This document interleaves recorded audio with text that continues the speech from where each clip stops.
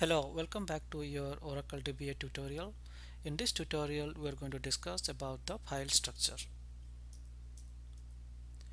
So this is the abstract picture of Oracle Database Server, which is instance plus database files. In this short videos, we are going to discuss about what are different types of database files that exist in an Oracle database server. So essentially this is the focus and we are going to explain what are different types of uh, Oracle database files.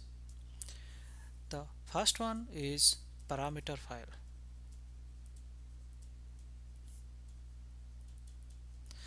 Essentially this parameter files tells me how the instance is configured.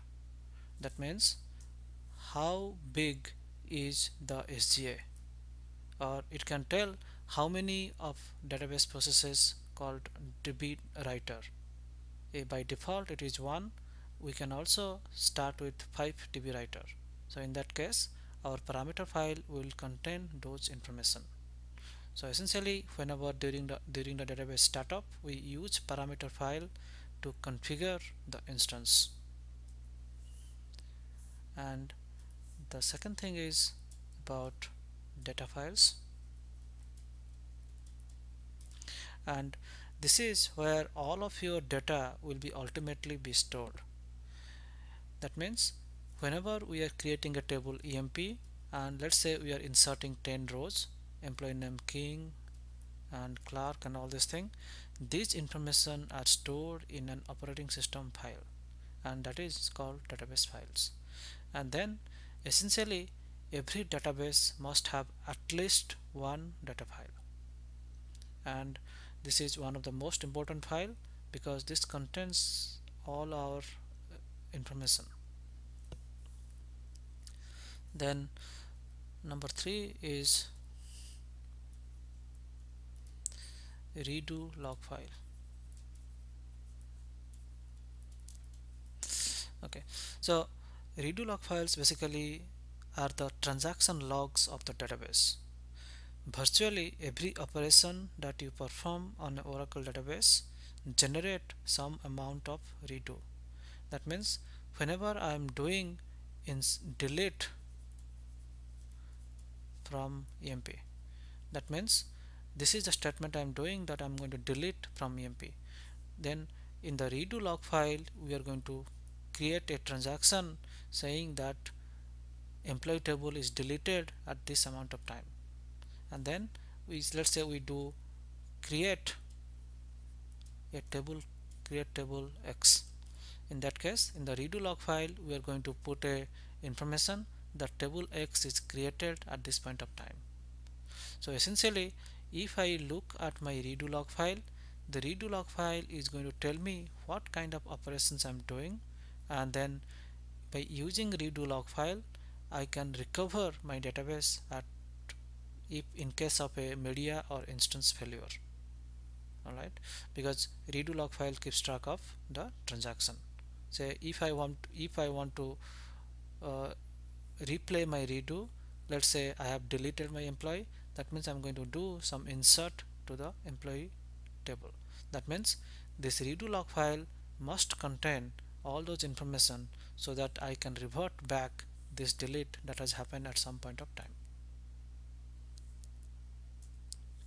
Then the number 4 file is control file.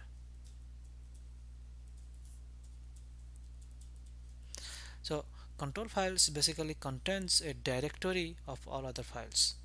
For example control file tells the instance where the database and redo log files are let's say our we have a data file called c colon data slash one dot dbf and we have a redo log file called c colon redo one dot dbf so in that case the control file will contain all information about where these data files are located where this where these redo log files are located.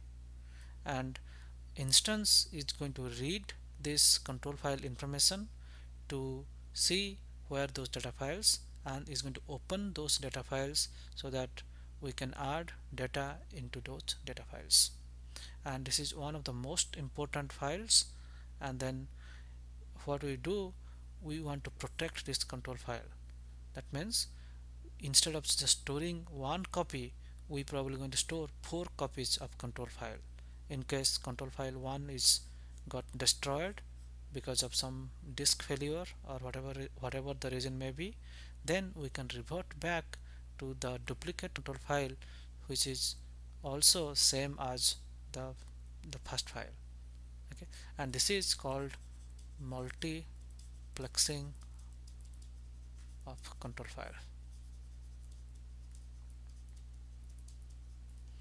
Alright? And the next one is called temp file.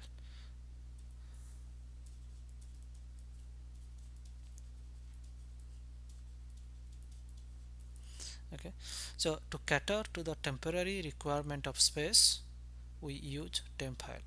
For example whenever you are giving this select statement called select star from emp order by ename so this is an operation where we get the employee tables data to some some temporary location where we can sort it right? So basically whenever we are going to do a sorting operation and all these things we need some temporary place where we can where we, we just use to sort. And once we finish the sorting we do not need those temporary locations. And and this is why we need a temporary file on the storage on, on the storage structure. Then the number six is password file. Alright? So the password file are used to authenticate user performing administrative tasks over a network.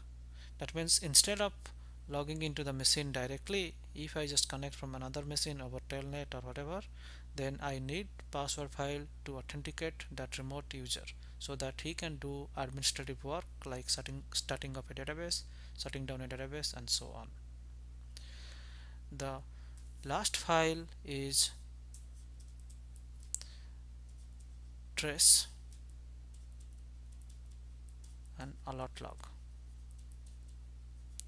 So as you have seen that we have a lot of database background processes for example for whatever reason there is a on like for example there is the the background process is terminated abruptly.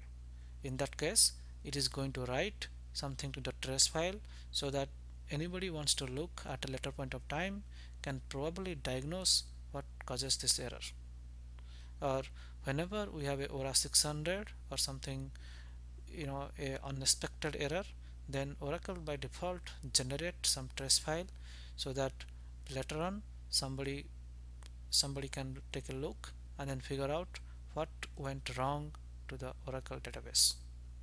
And the alert log is something that a time-stamped based log file which will say what is going on on the Oracle database server. So these are the basically very overview of database files what we are going to do in our next videos we are going to discuss in detail about these files